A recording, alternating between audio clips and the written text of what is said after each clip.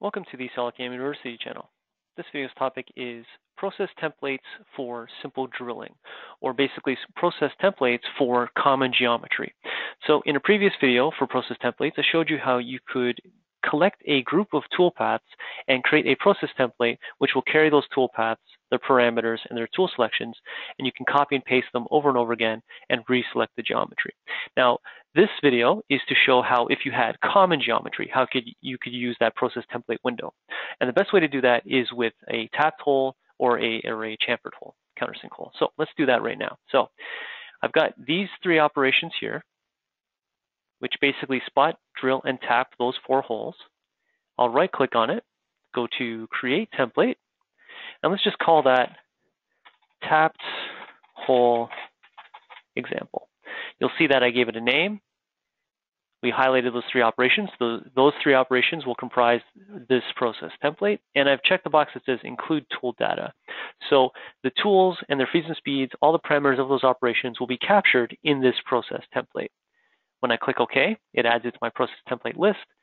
If I suppress those, just so we can get them out of the way, let's see how the process template actually works when we implement it. So I'm just going to right click on the uh, last operation, add operations from process template. There's my tapped hole example.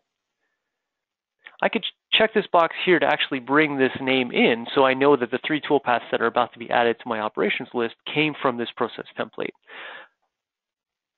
Okay, so once I click OK, we get to the common data page.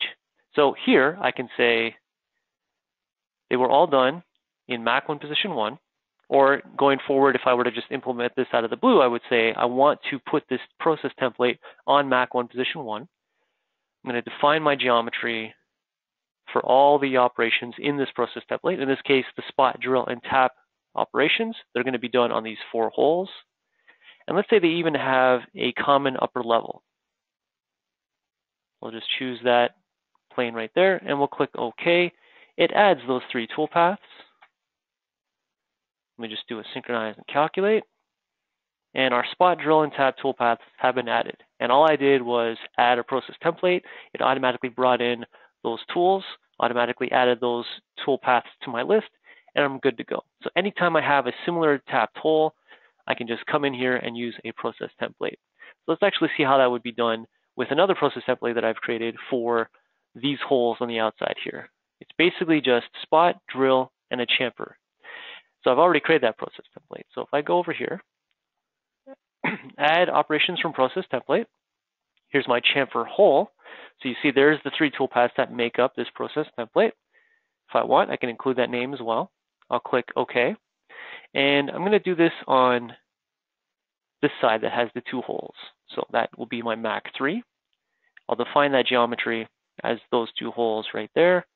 And again, they, they share a common upper level. So I'll just click on upper level, click OK. There's my three toolpaths. Synchronize and calculate. And I have spot, drill, and countersunk those holes. I can even do it again. If I go to add operations from process template, chamfer hole, put this on the fourth side, Mac 4. Click on define, click on that face right there. In this case, it's just that single hole. Again, I'll just define the upper level as that one right there. Click OK. Synchronize and calculate. And there we go. So I've added another process template to another feature. So uh, on a part like this, I have about four of those holes. I just had to program one and then use a process template over and over again to get all four holes done. Uh, likewise, I can take this and if there's a family of parts and I tend to do the same work over and over again, I can create a process template of those operations and then apply them to the next part in the family, in the series of parts.